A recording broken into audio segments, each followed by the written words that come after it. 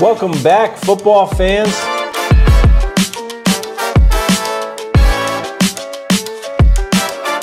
There are a lot of really good teams, and it's, it's just one of those times.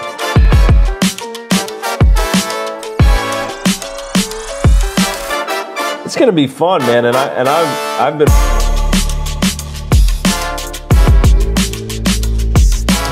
A lot of style, a lot of speed, a lot of talent across the board.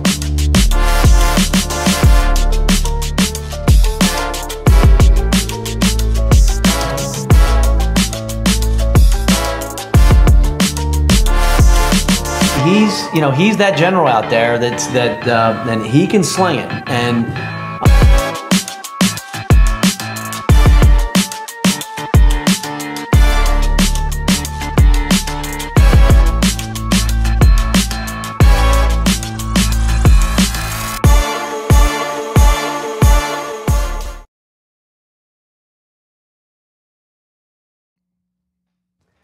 Welcome back, football fans, to the South Jersey Football Frenzy Show here at Studio B.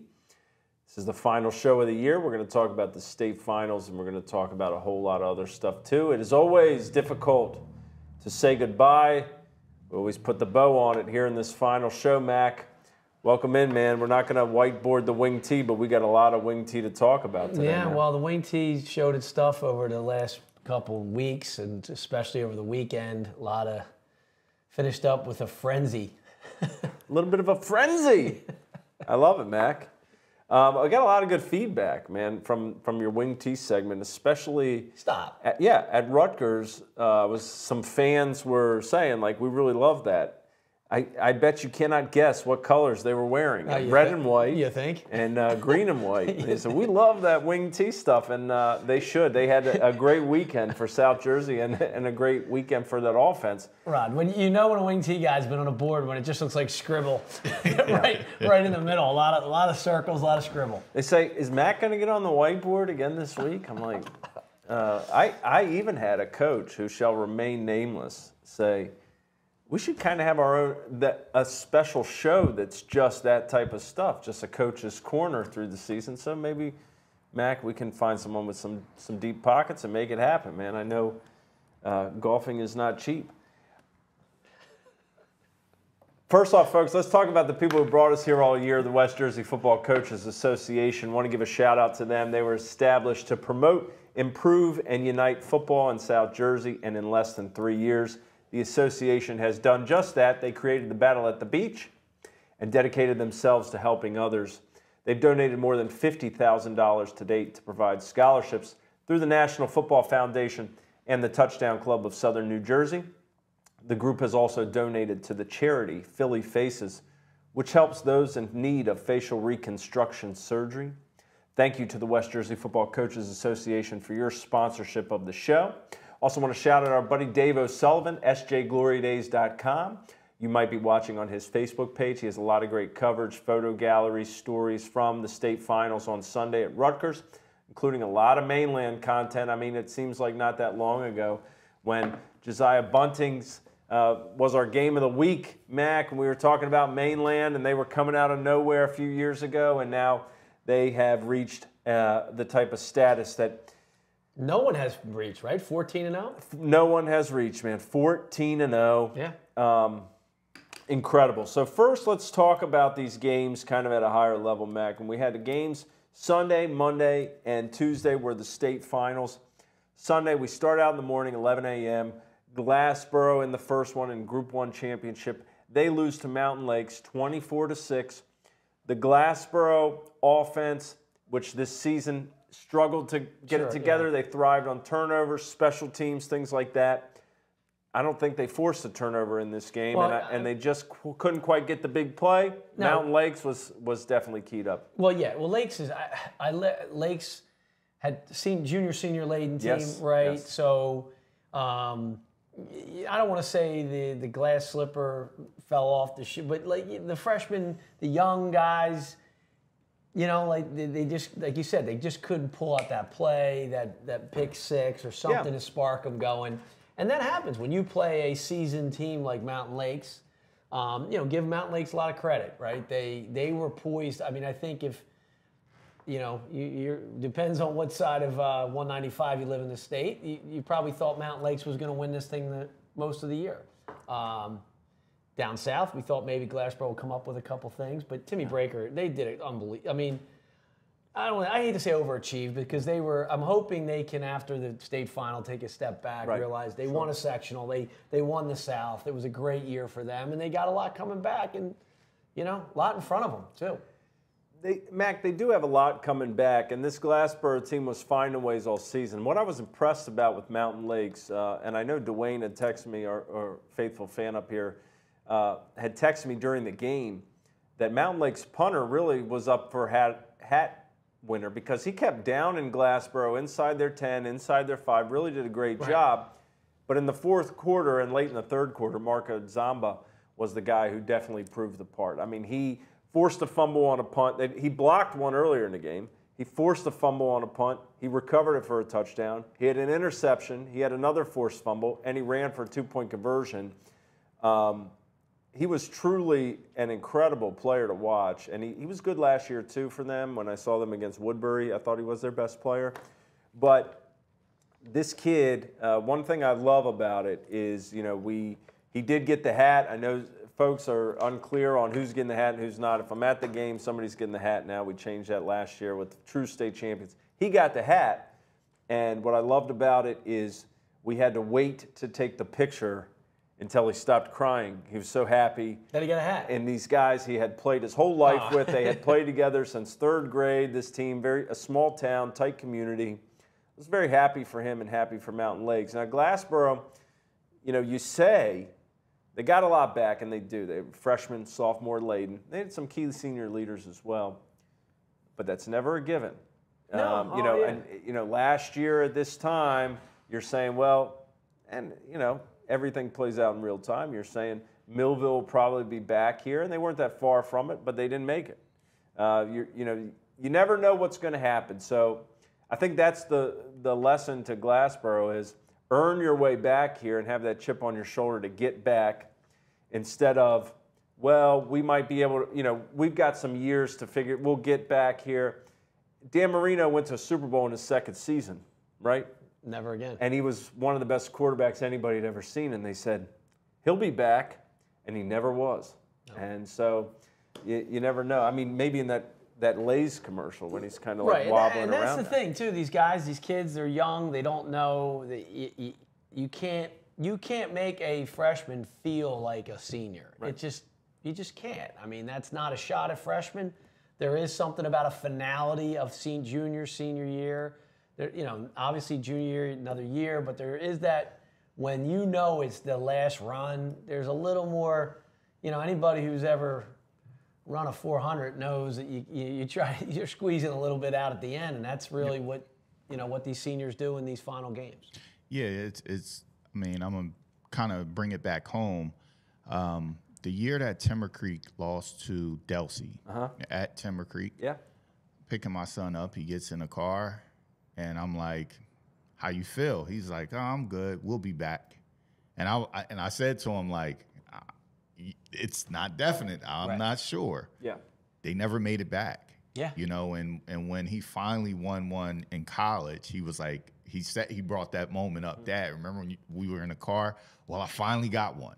Yeah. You know what I mean? But it, it it it took him another four years to even get an opportunity. So don't take that moment for granted when you're in those championship games. And just because you have a young team doesn't automatically put you back there. Because if we were all betting men, like Mark said, the Millvilles, we probably would have put money on early in the season. Woodbury was rolling. Yeah. So we thought they were going to be back Right, there. sure. You know, it's it's, Great it's, point, Rob. yeah you know, one of those things. we don't know And you know, I thought that uh, what Glassboro accomplished this season was pretty incredible, and the way that they got there was incredible. And I, you know, in not that they weren't supposed to be there, but the way that they got there and that defense that was so stingy for so long this season, um, you know, and really special teams hurt them more than their defense did in this championship game. I mean, two touchdowns directly off punts, uh, punt blocks, or whatever, and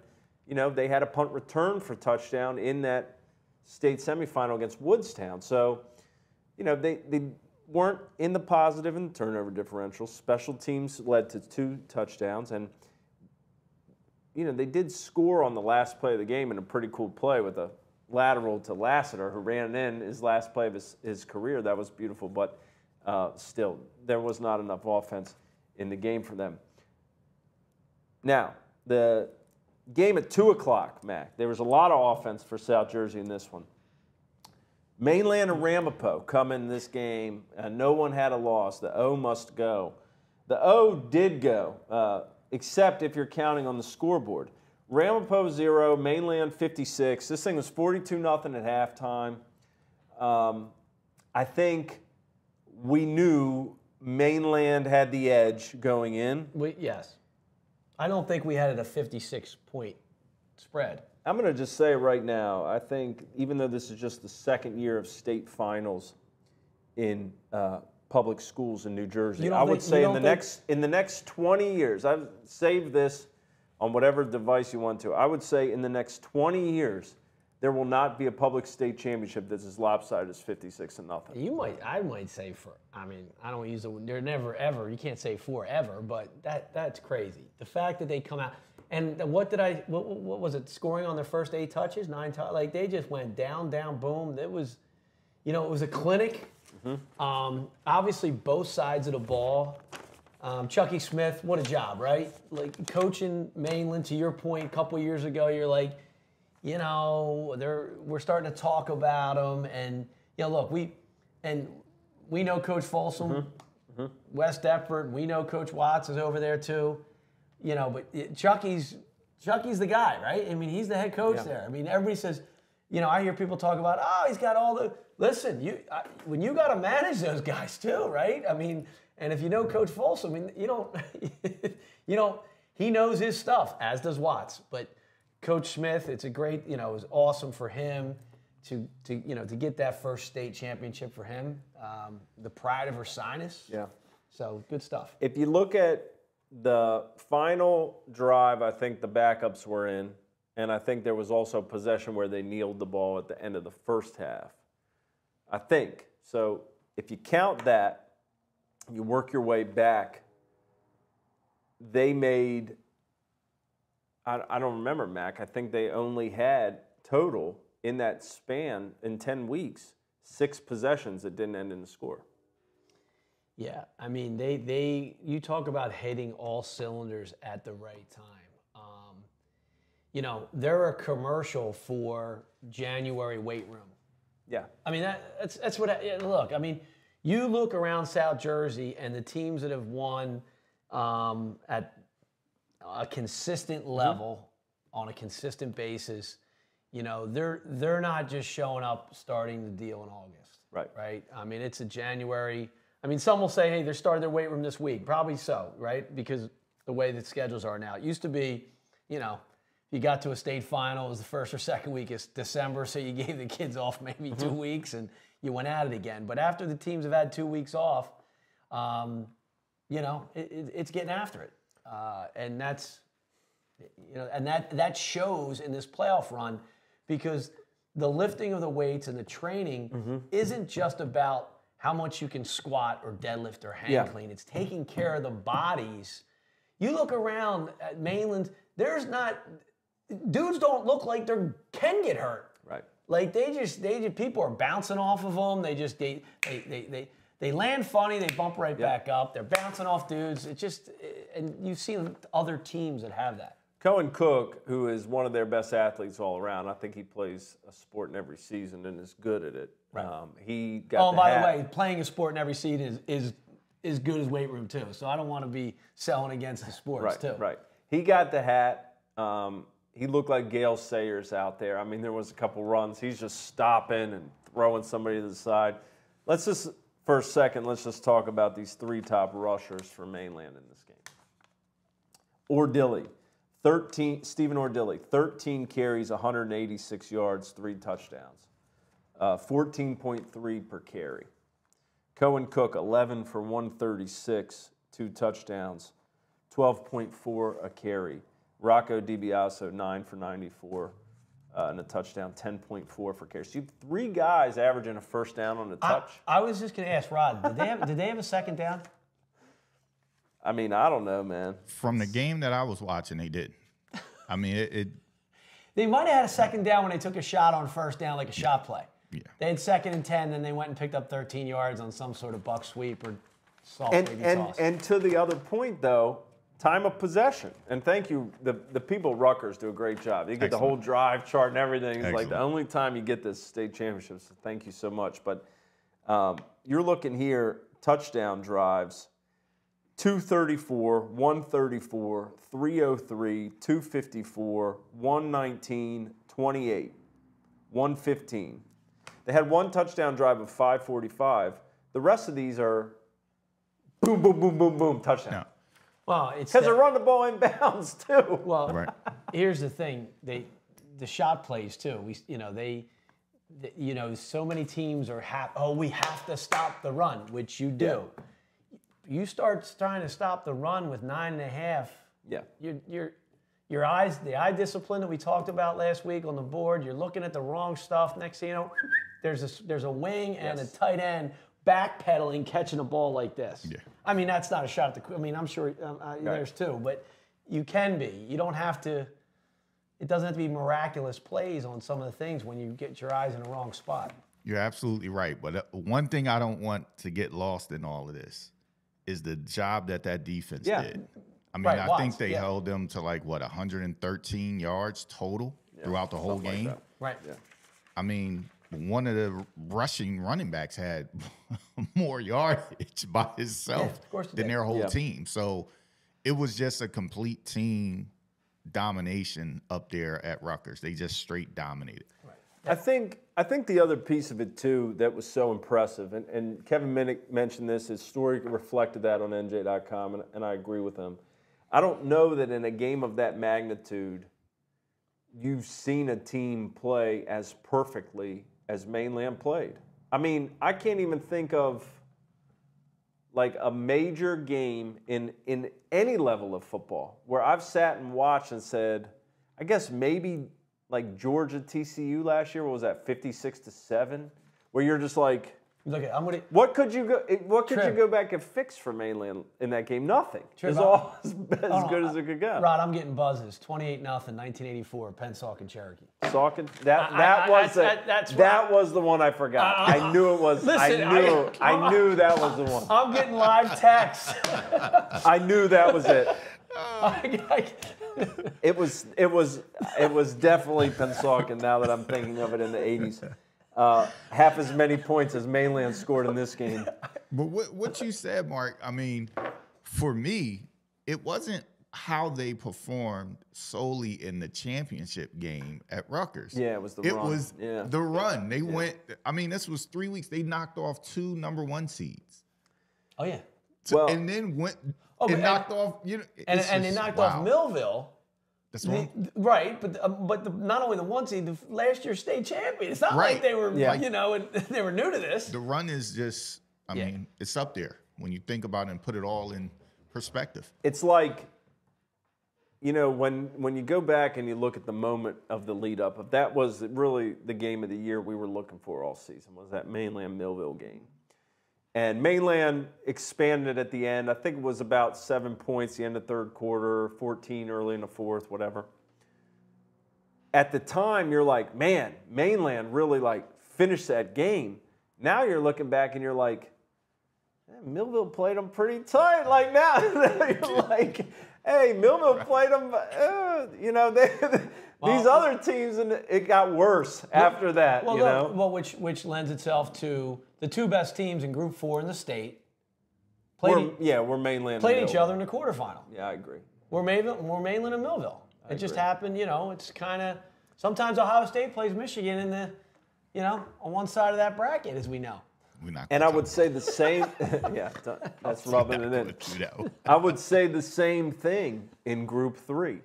Uh, the state championship uh, to me was Camden and Delsea, and Delsea won that game. And Delsea wins the Group Three state championship Yeah. over West Essex in the nightcap in the rain at Rutgers, 28 to three. They're up six three at halftime. Uh, they get a Wayne Adair 32 yard run in the third quarter. Zach Maxwell scores for a one yard run in the third quarter, and then Dan Russo two yard run uh, late. 28 to 3. Delsea caps the state championship season, one loss, and that came to Winslow early in the year. Uh, this was a game where I think going in, you you thought I, I thought Delsea would win handily. Uh, the mainland game, I wasn't as sure because I looked at Ramapo's passing game. They had a really great year offensively, some big numbers.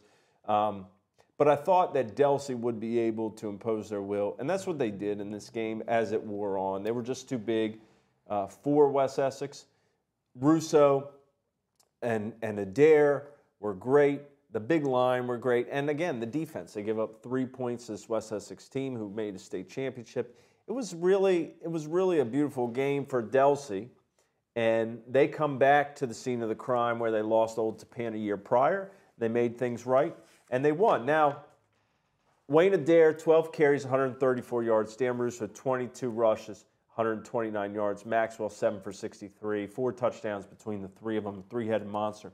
The one thing I will say about this team, and as well as mainland, let's flash back to last year at this time. If you said, what are the biggest question marks for you about Delsea next year and mainland next year? I would have said, well, Delsea's going to lose Jared Shoppy, their linebacker, running back, who's kind of the heart and soul. Right. And Mainland's going to lose Jabril Mace, their running back, who was uh, an all South Jersey, all state players, going to Villanova, does it all. Yes, he does. Stephen Ordilly and Dan Russo, in filling those roles as best they could, came this year. And their positions where you said, this is, you, you look at this team, this is where the question mark is. Those guys filled the role as well, if not better than could ever been imagined, and became all state players this year. I mean, that was huge. Russo was incredible offensively and defensively. for 22 this carries, right? All he- season. you saw him, right? Workhorse. Right? Like, so here's what's interesting, and they'll never admit to it. You put Marchese and someone like Clyde Folsom in a room, and you ask them, would you rather have one tail or three of this and that? Yeah. and the three, the tail, the one might be the better prospect, Right. the better all-around mm-hmm. athlete player. But when they get that three-headed monster in that offense with their quarterbacks, it's a four-headed monster. Their Qs can run too, and Yeah. they can throw it. Like so, I'm not. I'm not. You know, every you know, I take a Jabril Mace every day and twice on. Yeah. so- You know, as they say. But when you got the offenses they run, they're not tailback. You know, they're not tailback-driven offenses. It's not you know seven yards. You know, or offset sidecar back. It's it's fullback, wing, misdirection, boom, boom. And even with both teams running the wing T, they run them a little bit different. Yeah. Like when you watch them, it looks a little bit different. Sure. With you know with Russo, and then you flip it over to mainland, they have different cats coming. You got Ardilly, you got Cook, and then next thing you know, you're looking up and you see a pass down the field to Tyson. Like it, it's it just looks different, but it's very similar. But the wing T guys have like it's like they get this. Um, y- y- you know, they have this map in their brain, right? They get this map in their brain. They're like, okay, I got the big fullback this year, so we're going we're going to trap. We're gonna we're gonna live off of the trap. Stop the trap, or you're done. Stop the trap, or you're done. Well, we don't have the big fullback this year, so we're going to live off the buck, off of the trap. We're going to steal the trap every once in a while, but we're going to get the buck, or you know. And then, oh, we got we got Tyson. Yep. So, Right. so now we can we're gonna sneak a shot or two off of this play action, off of this jet. Like so, you know, some years they don't, you know, they don't have the like. So they sit there and go, all right, what do I? They're not. They're not. They don't try to force. yeah. You know, there's enough in that, and there's enough in that toolbox of the wing T. Okay, this year I'm going to be this dominant, or this year I'm going to do this. Now, in an ideal world, when you look at the spread that they have, you know, the the, the, the carries per guy. You know, when you see 12, when you see a wing team 12 and 13, 12 and 13, 12 Yeah. and 13, that's and think about it, 13 carries. If every kid knows he's getting 10 to 12, he's making the most out of his 10 or 12. Right. Right? And furthermore, the defense for Delsea, one, they allowed one of 11 third down conversions. And that's a recipe for success. And West Essex continually started inside their own 25. You're not getting first, you're not a big play offense in West Essex. You're not getting first downs on third down, and you're starting in your own end. That's a recipe for disaster. And, and Rod, you brought up defense, right? Like we've we always talked about if you in high school, I, I can't maybe maybe college different now. If you can put a nasty defense on the field, mm-hmm. you're gonna win game. You're gonna win games because you can you can make an offense out of the nasty defense. You give me a nasty defense, and I'll say, all right, there's my center, there's my two guards, there's my okay. He, he, he uh, oh, you know, a quarterback. Oh, guess what? I got a safety. Guess what? He'll yeah. play gun and he'll get the ball and he'll, and he'll sprint the ball. I, nasty defense travels, right? Yep. It was evident here, right? In West Essex, three points. Yeah. Right. Ramapo, nothing. I mean, yeah, three, that's. We talk about the wing T side of the ball, but mm-hmm. that nasty defense. The story I always told about Delsea winning the championship back when it was South Jersey and the running back saying he, to celebrate he was going to go run, uh, he was going to go lift weights that night when he got back to Franklinville, has been usurped by a better end of uh, championship game exchange with Delsea. After this game on the field, uh, watching the kids, getting a video of, of everything, Coach Marchese was uh, next to me, and he said, uh, "How you doing, Mark?" I said, "Good." "How are you, Coach?" He said, "I'm all right." Is it the line? I'm all right. And uh, the assistant said, "He's a man of many emotions, Sal." I said, "Yeah." Uh, he said, "We didn't play well in the first half." He pulled a he pulled a Jalen Hurts on you. hey man, standard. Exa- exactly, and uh, you know that anybody who knows Sal that sums up Sal. I mean, he is as level as it gets. Um, and congratulations, Sal. Great win. And Chuck Smith, like you said, I mean, these guys are the third and fourth state championship winning coaches in South Jersey history. Yeah, it's big right? Time. Reagan and Ayala, and these two now. Um, yeah, you know, they go. They it's go. Important stuff. The beginning of the list. And uh, shout out to Delsea, Jim Rafferty, coached at Delsea for a million years, girls, boys track, was an assistant football coach, coach with Oberg. Yeah. He passed this last year. His, his, son played for me at Eustis, mm-hmm. Jimmy mm-hmm. Rafferty. Um, you know, Raf's looking down on this Delsea team with some pride. Oberg he's, he's, too. Yeah, yeah, Obi too. Um, these guys are, and Sal is just a generational, generational yep. of just being part of that Delsea family. So that's that's so, so you know, it's good when you see some of these teams. You're like, you know, you, you you feel good for these coaches that they're in these spots. Delsea's also one of the few places where um, the staff that they have are guys you recognize from all the other sports they're involved in. Of course. You know, you got Rob Bryles coached girls basketball, uh, track and field, and Flame, uh, Maxwell, and wrestling. These guys, uh, Sal in track and field, like they're a part of uh, Smith in, in baseball. Like they're a part of the unit of the coaching guys. Yeah. Right? Like, it's not, ah, oh, we'll see you next football season. You see them the next season. They're in the, the they're in the fabric that. of the school. These kids play multiple sports. Like I said, if they're not playing multiple sports, they're in the weight room, you know, yeah. and, and you know, guys are running track and throwing things and throwing throwing shot puts and throwing discus and javelins and um, you, you know, it's it's it's there's nothing better than competitive for kids in high school, in my opinion, right? I mean, if you can that you know we there's not we're not going to have a multi-sport athlete show right now, but that's it's it, it just shows that Delsea down there, their coaches are multitasking, building athletes, and they have been for a while. Yep. Um, all right, we're going to take a break. We're going to talk about Group Five and Group Two happened Monday night. We're going to touch on that. We're going to also mention the non-pub championship games as well, and we have a couple topics that we're going to discuss and try to figure out here uh, on the South Jersey Football Frenzy show, show, season finale. So sit tight. We'll be right back after this. Champions are made through training and hard work.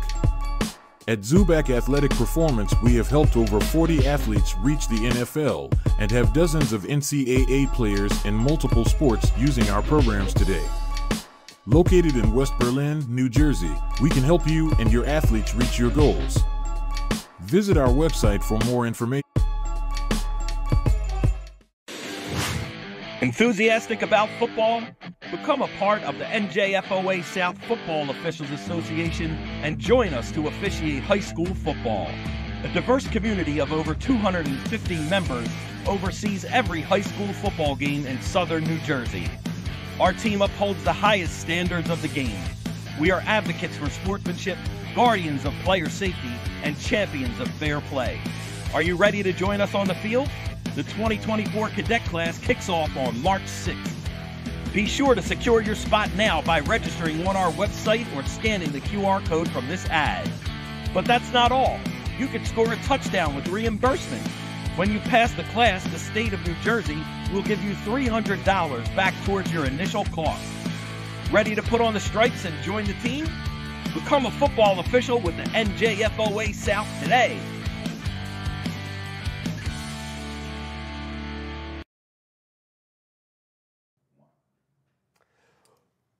Welcome back, football fans, to the South Jersey Football Frenzy Show. Um, we are going to talk about the rest of the state championships here that we didn't touch on in this first segment. I do not, Emil, I do not have thoughts on the division realignments because I have not seen them yet. They came out right before the show. If anybody wants to throw those alignments into the chat, we can discuss them maybe a little bit in our in our third segment here. But in our second segment, first let's touch on what happened Monday night at Rutgers. Westwood, with a goal line stand and a 99 yard drive uh, to force overtime against Rumson Fairhaven in the Group 2 state final. And then Westwood, the Cardinals win it in overtime 21 to 20. Their extra point goes in. Rumson's does not. Westwood, a team led by quarterback Robbie Karsich, one of the best players in the state this year.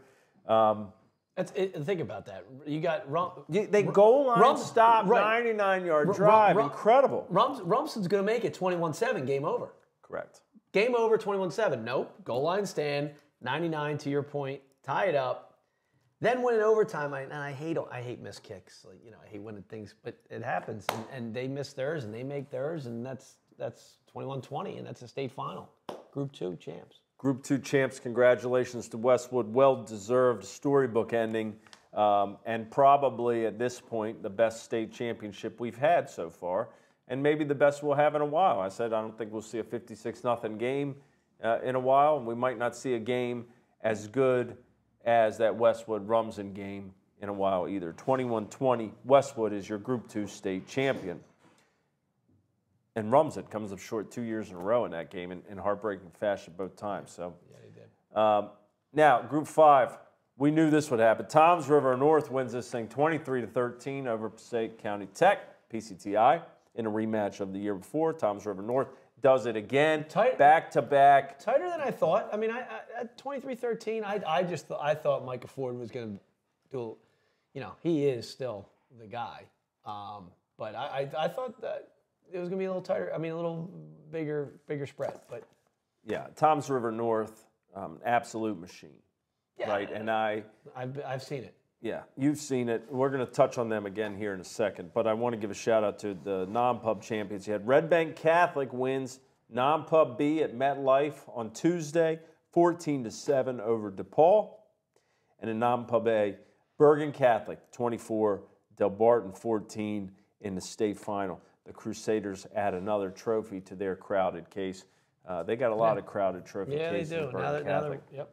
Uh, but let's let's go back to Toms River North. The conversation that uh, was going through the press box on Sunday night, and will continue to play out in uh, different rooms this week and until the end of the year stuff comes out. Is who is the number one public team in the state? The question is: Is it Mainland at 14 and 0, who won a state championship by 56 in Group Four? Or is it Toms River North, who lost two games in the regular season? Uh, those two games were with Red Bank Catholic, who won the state championship in non-pub B, and Red Bank Catholic finished 10 and 1. Their only loss was to Bergen Catholic, who won uh, non-pub A.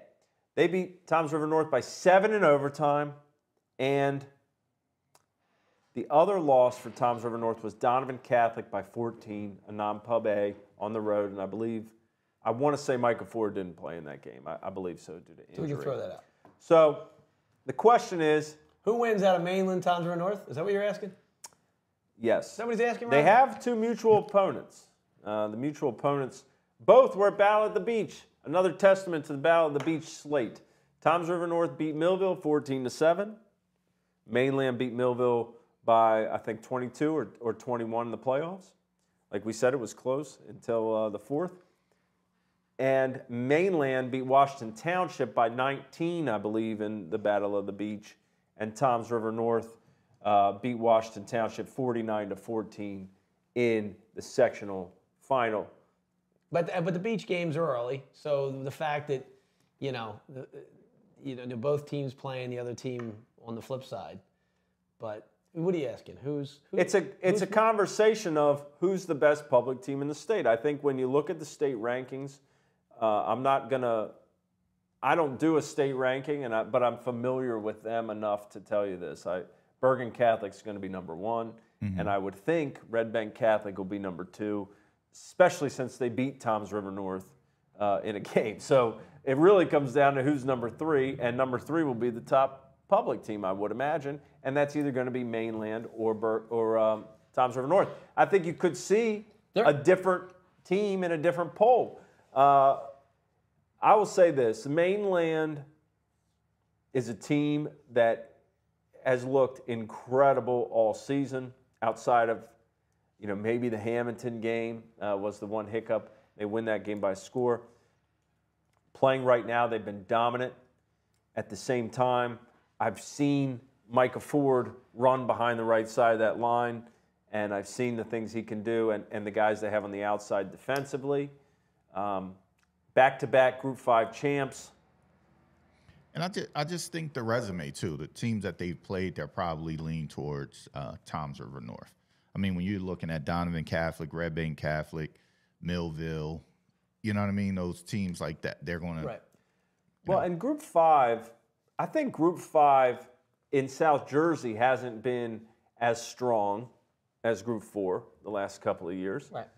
Um, Correct. but overall, I mean, Cherokee's a pretty good team, and Toms River North beat them 33 to six. Uh, and I'm not saying Winslow isn't a good team, also, who mainland beat 41 to seven. It's just a difficult conversation when you're back-to-back Group Five champ. Um, And and arguably, you know, I would love to, like somebody told me at the at the thing. I would love if these two teams happen to show up at the same field with their pads. I, that would be a real shame if that just. Eh, wow, is that you, Michael Ford? Wow, is that you, Jamie Tyson, Stephen Ordilly? Uh, oh, we- wow. Let's trying to let's see right in between Toms River all, North, there- Mainland, maybe a little battle at the no- beach. There's no more tournament champions in any sport. There never was one in football. Yeah. Right. He wants to go to a state championship. Now he wants a tournament of champions for football. I'm not going to lie. I said the same thing yesterday. Right. Listen, we get a, a ten thousand dollars stipend or something put Yeah. up for it. We need some sponsorships or something. Right? I mean, so I The get- war at the shore. I get. Look, now you can't. You know, maybe do they open up against each other next year? But it doesn't. But you got no Micah Ford, so it's it's, yeah. it's different. Different. So, um, This Toms River North run is pretty impressive. Yes. Have- and I'm and this is this is ab, I'm not discussing this versus mainland. I'm just saying on its own face right here. To go back to back state champions in Group 5 is mighty impressive. Um, and a, a, a, another one where I don't know when we'll see that again. We don't know because these are the initial conversations of, of state championships. Like Rod said earlier in the season, I think if you asked us with some truth serum the first few weeks, we would think Woodbury was going back to back. Things happen. You don't end up end up getting there. But uh, Toms River North really impressive and Mainland impressive. This is a debate that will play out. I do not think that either side is wrong, and I think uh, if Mainland's ranked ahead of them, Toms River North fans have every right to be uh, Right. PO'd, and if vice versa, I think Mainland has uh, the right too to say, "Hey, we, what more do you want us to do? We went undefeated We and won it. by 56 in a state championship right. game. We made we made a state champion. Your team's statement. really good too, but you won by 10. I think both teams have a legitimate argument, though. Yeah, for sure. Yeah. You know, I, I could see them one two. I mean, Now, here's the thing: if you actually want to play it out in some sort of simulator here, like you know that, like you said, Micah Ford's going to bleed for yardage, right? Like, Yes. And then it's the three-headed monster of Mainland and Tyson on the out, like, so. And not that, not that Tom, Townsville North has other weapons as well too. yeah, So Tar- they have Tariq Council. They Yeah. have some guys. Yeah. yeah, yeah, they got guys. So, um, it would be, it'd be a fun watch. It'd be a fun watch. Yeah, we'd watch it. Yeah, We'd broadcast it live. We'd do play-by-play. sure. if They let us have it. Sure. Um, the West Jersey Football League divisions. Here's what I have, courtesy of Chris Baker. Sent this over quickly. I know I saw some comments in here too. Let's just talk about. Uh, well, let's go over the top five, six divisions here. Division Division one, Mainland, Winslow, Millville, Cherokee, St. Augustine. Uh, that's that's four of our best public teams the last few years, and, and St. Augustine, of course, has been our top non-pub here recently. Division two, Williamstown, Timber Creek, Kingsway, Washington Township, Delsea. You have a, a group two Group three teams in Timber Creek and Delsea, a Group five in Williamstown, Kingsway, and Washington Township. So you have that one seems regionally it's a little bit closer um, in Good. terms of how Right, a couple fives, couple threes, and they're good teams, and they're you know neighbors. Division three, Rancocas Valley, Lenape, Shawnee, East Side, and Camden. So you have two Camden schools. You have two Lenape regions, uh, Lenape School District schools, and RV, which is down the road from uh, Lenape and Shawnee as well. Division four, Atlantic City, Hamilton, Cedar Creek, Ocean City, Holy Spirit. It's not very difficult to figure out this division. It's very much uh, geographically constructed, it seems. Uh, again, some neighborly games there. Division five, Pleasantville, Paul to six, Seneca, Gloucester, Haddonfield, Willingboro. That's you got a lot of That's you got a lot the of ingredients into that into that soup. You got Right. four group twos, Seneca group three, Paul to six and non-pub. Paul to six and Seneca have shared divisions here recently.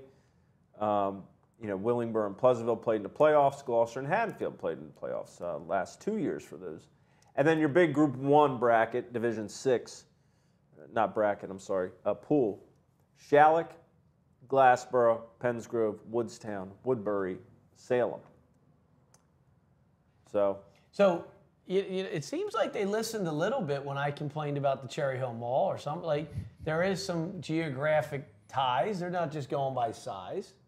Again, then the flip side of this question is going to be who are your crossovers?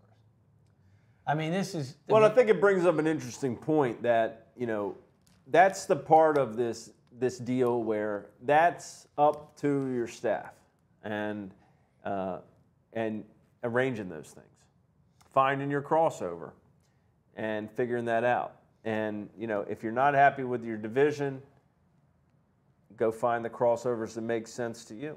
right. You know, I I, I, I like you're coach. competitive. I mean, you have you have, what? Do you have five teams in each division, four you know, four division games, five division games. So From what I'm seeing, I, I can see there, there's nothing here that seems in this top in the top six divisions where I'm like, oh, this is way out of left field. You know, I can I can see why these teams ended up together. They seem like similar programs, most of them. But again, I, you know, there's two things I know about football coaches. I lo- well, there's three things. I love them. I love talking to them, all that stuff. That's one thing. The second thing is they'll do anything to win, almost, you know, and th- they love to win. And the third thing is they'll find a way to complain about schedules and PowerPoints. That's it. I mean, I, I, I have heard it from every coach in South Jersey. If you say you haven't, you're lying. Somebody has a gripe about their schedule. Doesn't matter if they go 10 and 0 right down the middle, if they go one and one and nine. it's a tra- It might be a travel thing. It might, you know, there's there's something. There's, it's look the schedule. And some of and some of those gripes are, are legit. You look at it, you're like, man, you did get a bad. You must have made somebody really mad, man, because they handed it to you. And some of them you say, man, look, you're crying over nothing. You just go ahead and you go ahead and play your games. But but there's always going to be something like that. It's like the college football playoff, man. There's always going to be somebody that should have got in over somebody else. What do you think, Brian? I think you just have to do your crossover games. You have to really think about um, schools that you want on your schedule and try to get those teams if you can. Well, Just remember, that- I mean, that's relatively new. Like be- before, you were given your crossover Right. Mm-hmm. games, right? It was like I'm gonna tell you, my first year at Lenape, you know, here, here's Williamstown, here's Timber Creek. yeah. Thank you, Yeah. Thanks, thank I- you, thank you. Like, you know, um, Well, but, unle- hey, but you take your lumps, and that's how you learn, right? If you, Yeah. we would say those first couple years, this is who we want to be like. Yeah, the, the the bad part about the whole um, seating and the brackets and putting you in the different divisions is that it's taken into account two years ago, like from it's the last two years, Right. And then you get the new schedule. Like I'm looking at some of them just hypothetically and just looking at them. You know, you have the Winslows, the the Mainlands, the Cherokees, the St. Augs. The difference is if if you were playing with heavy seniors and juniors, Oh, and yeah. now it's going to be a down year where you have freshmen and sophomores that are oh, like, Oh, oh, you're going to take your lumps. You're Right. going to I take mean, some can you lumps. can you change it? That's why you know I've heard you've heard me talk about in previous shows some sort of geographical relationship because even if on a even on a down year, Mm-hmm. e- I'll take just a you know the the RV Lenape deal, right? Yeah. Those teams could be down some years, Mm-hmm. you know. They still typically have a pretty good thing going, like Shawnee, Cherokee, Shawnee, Lenape, right? Those Camden, you know, East Side versus Camden. I mean, that, those, you know, you're going to have. They're always going to be, typically, not always, but competitive games. So, you know, like, but you're right, Rod. You can't. You, you hey, like seniors graduate, right? Just- Nobody's going down to the eighth grade and saying, Right. "Hey, what kind of dudes?" Or you know, how did the Mount Laurel midgets do last Right. year? I mean, and we look at just take uh, Mainland. They just Mm-hmm. had Jabril Mace or Dilly, Jamie Tyson, Watson. I, I- I mean, who's coming up after those guys? Right. They may have a down year, but they're going. Listen, because you were good, yeah. Thank that's you. how it works out, man. Right. Thank your thank your state championship brethren that you're now you're now Yeah. playing with the big boys for at least Right. two more years, and that's you know that's there's no perfect way to do this. I mean, Right, and and the other point of it is, if you give a, a relaxed schedule and say, well, they're losing all their seniors, then you're gonna sit there and say, wait a second, Mainland went 14 and 0 and won 56 nothing in, the championship, and they're gonna play teams that aren't the best teams in South Jersey. Right. I mean, heavy is the head that wears the crown. If you're a pro- if you're a program that every year you're in the playoffs and you go down these top divisions here, I, I mean, Mainland, Winslow, Millville, Cherokee, St. Augustine, Williamstown's been down the last couple years, but Timber Creek, Kingsway, Washington Township, Delsea, RV, Lenape, Shawnee, Eastside, Camden. These guys have been in the bracket every year, and they're pretty good seeds usually. Um, you know, it's look at the guys at the bottom in those divisions. That's the ones I've always thought. Like if you can find a way to help programs on the rise, and we've seen that happen with. We saw it with Delran five or six years ago. We've seen it with uh, Pitman. We've seen it with um. We've seen programs, you know, build themselves back up. And meanwhile, your power programs, for the most part, unless there's some type of serious change at the top or whatever, usually are still in that mix. So, and you know what coaches want out of their schedule is different for everybody. Right. That's. I that's the want a challenge. I want to stay down the street. I want to, you know, I want to that old cliche use or I don't know if it was UMAC, but I know the older coaches used to say, I want three I can win, three I'll lose, and three that are toss ups. Eh, well, that you know, who's deciding what the formula is? I think the days Every of that coach is different. Yeah, I think the days of that are, are kind of over. Right. Um, well, because now back then, back then I'm gonna 1980s. Only four teams made the playoffs, and there was only four groups. Right. And South Jersey section, you know, you you lost. You know, you lost two games. You weren't making a play. If you were six and two at the cut, you might not be making the playoffs. Yeah. And I, listen, I sat at a dinner table with an angry guy who thought his team was pretty good that some years didn't make the playoffs. Yeah. Those powerpoints used to used to. Right. right. Yeah, so you, you know you're playing the game of the powerpoints and trying to figure out who's what and this, that, and the other. So I mean, now it's kind of like the, we, we talked about the college playoffs, right? Well, before it was nothing. I'm gonna explain this to my son. Then then it was the they picked the best two for a Top bunch of years, right? Then they picked four for the last ten, and then next year's gonna be 12. Mm-hmm. Now I think But let me say this about that. If you go through and look at the te- the 15 years or whatever from when the BCS started, when it was two teams in the championship, there was one year you could say maybe the best teams didn't play in it. That's it. That's it. One year. We had the top two teams every time. oh, look, agreed. And people say, oh, we need more teams. And it was like, mm, now we got more teams, it's more games. There's going to be more games next year. And you know what? We're going to watch Georgia beat, you know, Well, did- whoever it listen, Listen, did they have in to the make first round, 48 nothing. You like- got, uh, you won the playoff? All right, it's 56 7 last year in championship, whatever. look at they didn't look at they didn't did they, 'Cause- ha- and your team had to play Georgia in the first round. look they didn't they don't have to go 12. We, we went toe to toe though. We went toe to toe. We held on. They don't have to go 12, but you know, in the colleges they could go 8 Right.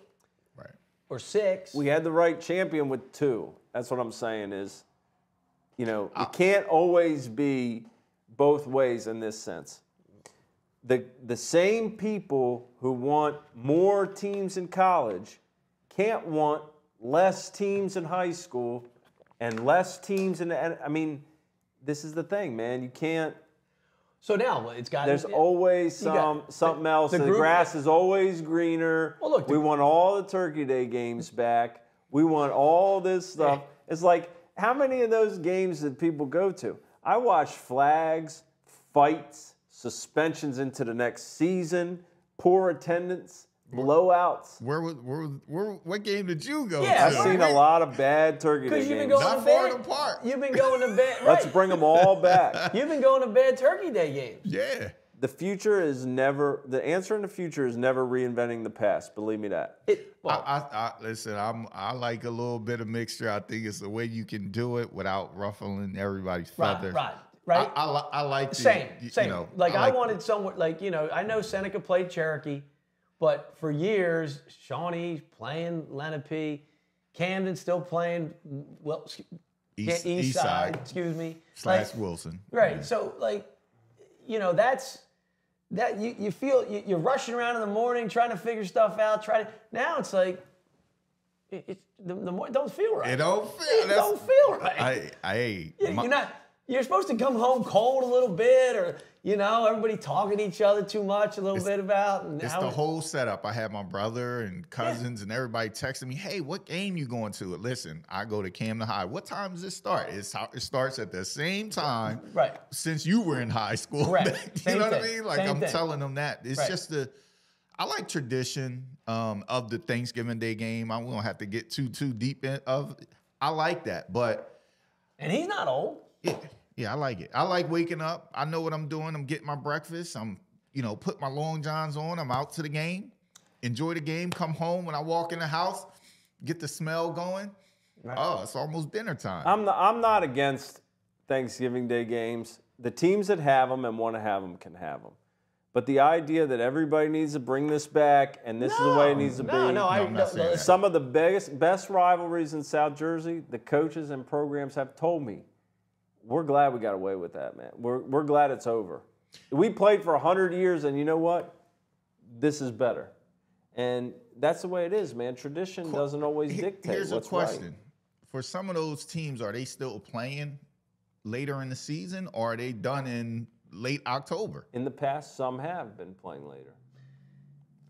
Right. I mean, Also, your team's done in October. You got to schedule four consolation games to prepare for your Thanksgiving Day well, game. that's the thing. Well, look, I get that now You because know. of the way that the, because of the way the schedule is. If you don't, if you lose first round, if you don't make the playoffs, or you lose the first round of playoffs or your consolation game, waiting around three weeks to play a rival isn't isn't fun. Right. Now, look, I know we can't go backwards. We're not. We do have state championships. We do.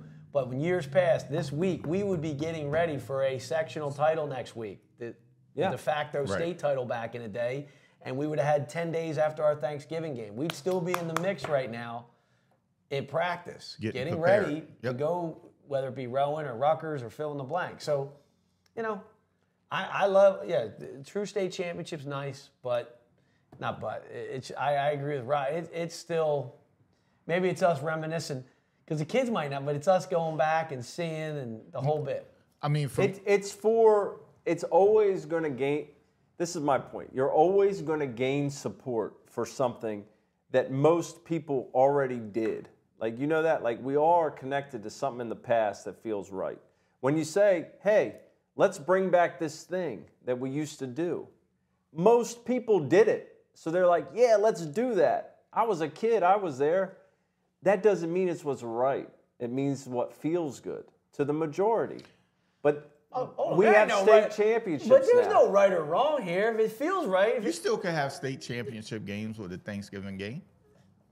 They're going to finish everything by December 1. That's what they want to do. It's clear. That's what they want well, to do. Well, obviously that it was. So- clear. It's it's it's very clear. So I don't know how it's going to be configured and, and it can be worked out, but I'm just saying at some point they're all going to be probably gone. I don't know when it's going to be, but Like it- we're like- down to what now? How many? like you look at you look at the district dom, like that I co- like Lenape Regional, right? So Lenape and Shawnee played each other for 50 some years on Thanksgiving Day. The Cherokee Seneca was obviously relatively new because Seneca was new. It's relatively no. Was rel- right? They're only 20 years old at school. Mm-hmm. Fish coached every year for them. Well, interestingly enough, though, when Cherokee and Seneca played this year, it was on Thanksgiving, and Lenape and Shawnee had given up that Thanksgiving game two years prior, or a year prior. So, like, this was the second year I think that Shawnee didn't play Lenape on Thanksgiving. So it's like the one that was only around 20 years is kind of Still going. Still- This was the last one. I know, but it was still going, right? It still went. And then the one that was around 50 has been out. You know, I, Hey, I say I, it, if it's a tradition that you've been doing for a while and you can find a way to keep it going, keep it going. Like the Millville and, and Vineland. Right. That thing's going to flip flop. I remember when Vineland was getting the best of Millville at times. Like Yes. that, you know, you're going to have that at East Side and, and, and Camden. Like, you know, we, I like those games because for us, it's, it's our homecoming right? Yes. If if you don't live in in Camden, you don't live in New Jersey, you're flying in, you're seeing family, you go to the Thanksgiving Day game, it's packed, you see all the people that you graduated with. It's just a different feel. Playing that game in October means absolutely nothing because uh, people aren't coming back to see that game Right. at that point. So you're going to lose that feel. You're going to lose probably 600 people. Well, I mean, it was packed out there for Thanksgiving. that's true. Yeah. But I was at that game last year, and you know what? For Camden High, it meant absolutely nothing because they came out there and they didn't had any interest in playing that game last year, not a wink of it. It's it. it it means So I mean, the, It- it, it was means good for the fans, but I was watching the, the team, and they were ready to go have turkey from the beginning. Just well, get this I- I- thing over. You know, it's funny. We, I've always said when we were in this, it's always the year we lost in the in the quarters. It's easier to play in the Thanksgiving when you lose on the Friday or Saturday, and it used to be the sectional semifinals. Like it was the sec, it was the mm-hmm. second to last game. So when you lose in that sectional semis, that next week right? Getting is tough to get ready for. But in, in like the years where you've won that week, you've won the semis, you got some jump, right? You got a game, and then you you play a state final, like it's house money. You got a state final in 10 days. Mm-hmm. So we were in that role twice. That was a neat role. And then we were in a role where we lost earlier in the playoffs, and we had a week and a half to kind of lick our wounds, right? All right, let's get this back. But to your point, Camden loses last year, right? Like right before. the one, the, the loss right before Thanksgiving, the five day loss right before Thanksgiving. That, that's the one you want to be like, all right, we're, you know, my, because you haven't gotten over it yet. You're still in the four day. You're in the mourning period still, right? It's not done. I know it's not happening. Listen, the games man. are coming back. People No, are- I mean, I mean, look, man. It, it just- All I'm saying is when when that's the point of let's just redo what we did in the past. People are always going to say, yeah, let's do that. Yeah. That's not how we move forward. That's not how it works. Like, I'm, Yeah, I'm I not mean- saying there shouldn't be Turkey Day. I'm saying that's always going to gain support because it's what the most ju- amount of people are used to. be, being be, I I traveled a lot earlier on, a couple years ago, I used to be in Florida or Texas doing stuff with Mm-hmm. youth and hosting games and things. And being down there, they will be playing December, late in December. Yeah. You know, Texas state championship is like December 15th or something like that. Oh yeah. So, I mean, I- I Six think rounds it- of playoffs. Yeah, I just I think it's a way it can be done. It's just if they want to do it or not. Yeah. Jer- Jersey, That's just that's what it comes down to. Jersey doesn't like button up. They never In like December. button up against other sports. Other sports, yep. And then now they really don't. They they not only don't want to buff up, they want to buffer. Mm-hmm. Like they want Right. space between. You look at you look at with the ending of of winter to spring. You look at now with everything ended last weekend and basketball. Blah blah blah. So I mean, with with that, and and this is a question that I have. Some schools, yeah, they they're smaller. Their their football guys may play basketball, but this day and age of specialized sports, it's not like it used to be where you have ten kids off the football team who are the ten basketball players in varsity. No, right. You're right. You know, certain schools have a varsity basketball program, and they dare not play football. No. You know what I'm saying? Nope. And, and and even in track and certain sports, you it's it's not like it it, it, used to be. Interestingly enough, You know. your group fives could probably play football till mid mid December. Right. Yeah. and your group 4s mm-hmm. Your threes maybe a little earlier. Your two, like group one, kind of needs to be done around Thanksgiving. yeah. But Makes sense. you know, it's kind of like that's kind of because those group ones. You know, you go to say Mountain Lakes. Those kids are playing. Some of those kids are playing are wrestling and playing basketball next week. This week mm-hmm. at, at a group one school. Where a group five school, to your point, Rod, basketball players aren't typically playing football. Not not the good ones. We we we try to get them. We we try to get them. Yeah, we do. um, here's some scores we had from Turkey Day. I think we have about 11 games. Bordentown beats New Egypt 26 0 They lead the all-time series 13 to 10. Woodbury 40, Gateway 13, fourth straight win for Woodbury. They lead the all-time series 34 to 12. Gloucester beats Gloucester Catholic 33 0 25-23 and 1 is the all-time uh, series record there in favor of Gloucester. Paul to 655, Camden Catholic 0, Holy Spirit 37, Atlantic City 26, Pitman 29, Clayton 13, Millville 65, Vineland 0, 152nd time they played the country's longest Thanksgiving rivalry. Vineland still leads the series 67, 66, and 19. I guess that one didn't count for two for Millville. Florence 24, Riverside 16. The final game for Coach Frapoli, Damian Ricketts runs 22 times for 163 yards, three touchdowns. Haddonfield 31, Haddon Heights 7. This was the WIP Turkey Bowl. Declan McCarthy runs for touchdown, throws for one. Audubon 42, Haddon Township 12. Rod, you have a video from this? Yes. See if you can play this thing. I know it's far away, but take a look here on the left if you can see it. Jacob Holland gets this hook and line pitch, runs it in. He's an offensive line. Yo! Pretty cool. Oh Uh, they win 42 to 12 over the Hawks. They've won 11 straight in that situation. Camden Eastside 20, Camden 8, five straight wins for the Tigers over Camden. And Seneca sends Coach Bill Fisher out a winner 13 to 6. I saw that one over Cherokee. Um, you know, there's, so there's about 11 Turkey Day games left, and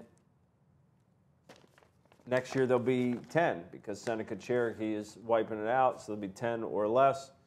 Um, but that's still 10 more than we have the rest of the season. We have zero left. We have one segment left.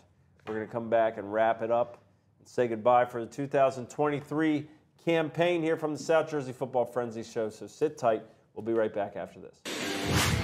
Enthusiastic about football? Become a part of the NJFOA South Football Officials Association and join us to officiate high school football.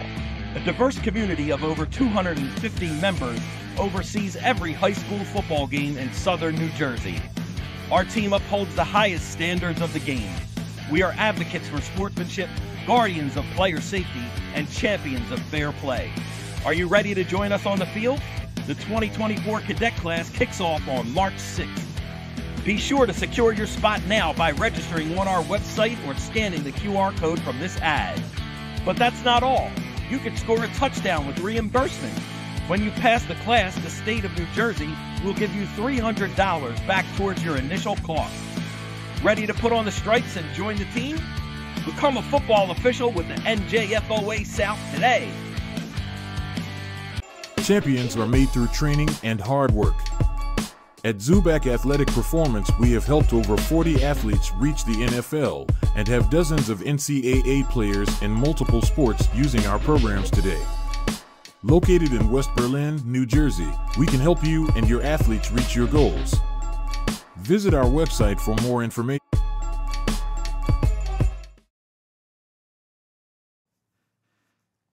South Jersey, let me tell you about my friends over at SRA Home Products.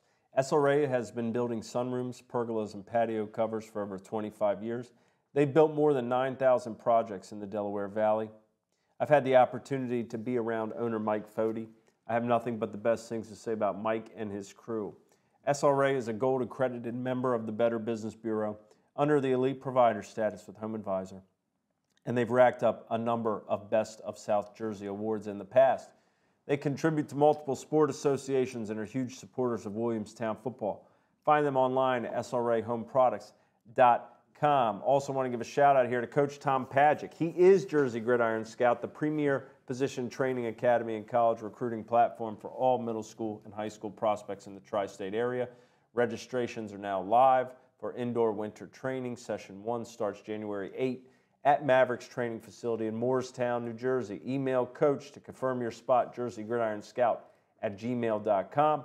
All positions are offered as well as speed development training with Nick Dell of Elevate Performance Club. Recruiting consultation is part of the training. Let's plan your journey today. Check out his website, jerseygridironscout.com. Follow him on Instagram at Jersey Gridiron Scout and on Twitter at Coach Pajic, P A J I C. Email him today to confirm your spot, jerseygridironscout.com. All right, Mac, this is it, man. I want to give a quick shout out here to all the sponsors and those who help with the show. We got Chris Baker has worked diligently every week to send in our stats, our updates, our schedule. Thank you so much, Chris, for your help again this year. You make this thing go. Uh, we want to thank SRA, of course, Coach Pajic, and Matt Zuback, his athletic performance, and the NJFOA South chapter, the Ed Meyer chapter, for their sponsorship of the show. Sully, of course, Studio B, Rod, as always, and the West Jersey Football Coaches Association, the presenting sponsor of the show. Thank you all so much. Um, without you, this show would not happen, and we've had a great run of it this year.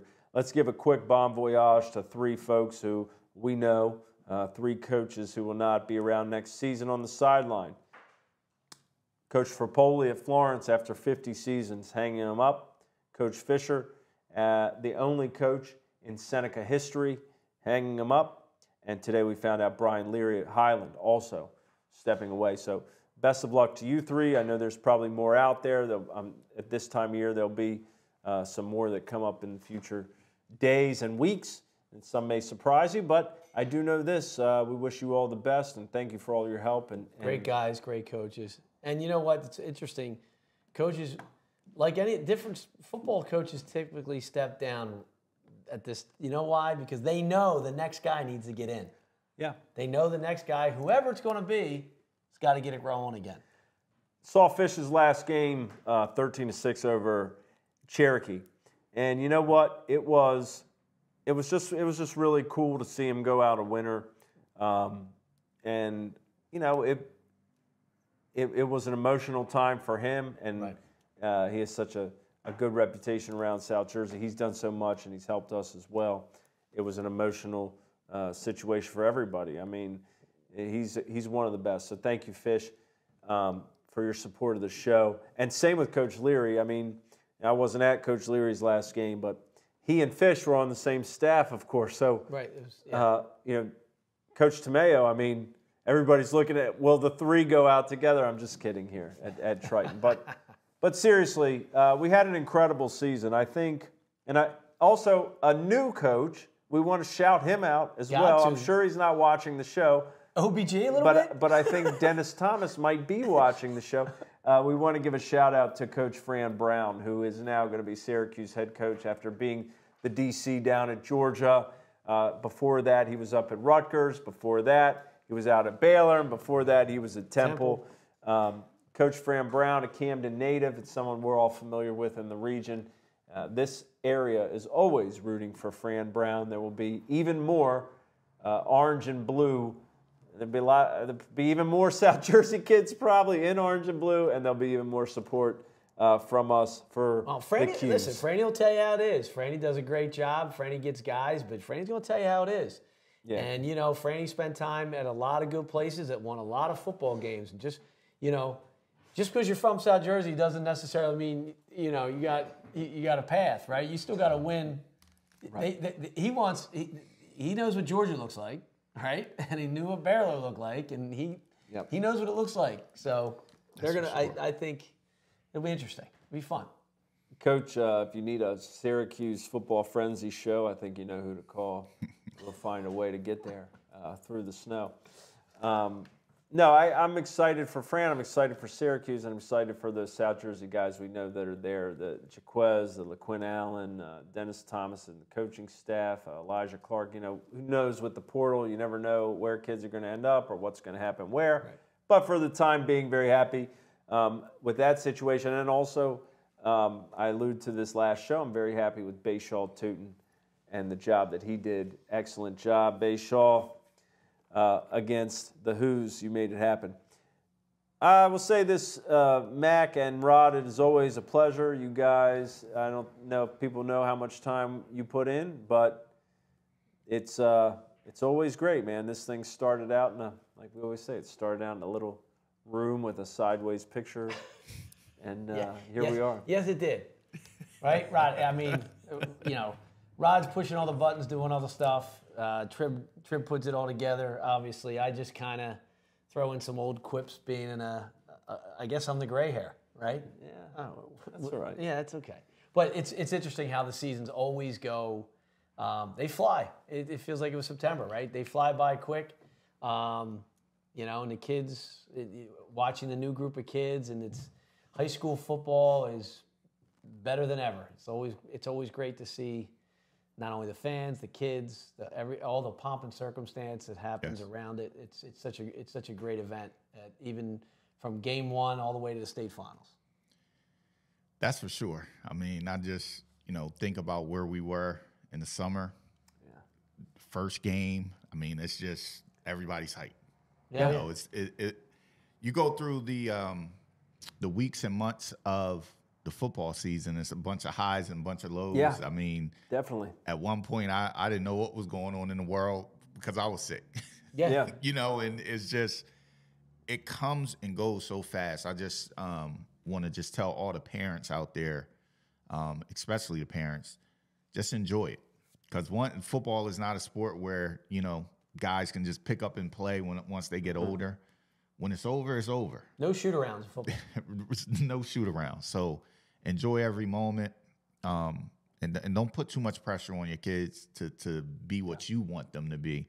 Allow them to grow a little bit and come into their own, and they'll you'll find that they'll enjoy it a lot more. Rod, you make you make a You know. awesome point because a lot of folks get caught up in what's in anything, in everything. It seems not everything, but a lot of things. What's next? What's next? And you know, there, the saying "smell the roses" is there. There- You got to enjoy. I think I've said this on the show before. I say, I remember Dwight Hicks, All-American, Michigan captain, Super Bowl champion twice at the Niners, would come back and talk to Pennsauken High, mm-hmm. and how unbelievable it was to play mm-hmm. for Pennsauken. And I know there's a thousands of stories Right. of through South Jersey, but I was firsthand on some of those.